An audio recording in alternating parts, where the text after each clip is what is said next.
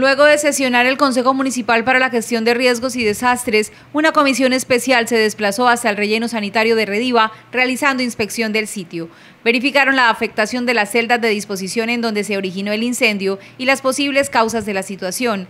En compañía de bomberos voluntarios quienes atendieron la emergencia se realizó dicha visita, recordando que Bomberos calificó el hecho como riesgo bajo en su magnitud. Sin embargo, luego de la visita, un informe de lo visto en el recorrido fue realizado para autoridades ambientales como la CAS, ANLA, Ministerio de Medio Ambiente y a la Superintendencia de Servicios Públicos. En este informe solicitan a los entes competentes en lo correspondiente investigación necesaria ante lo sucedido.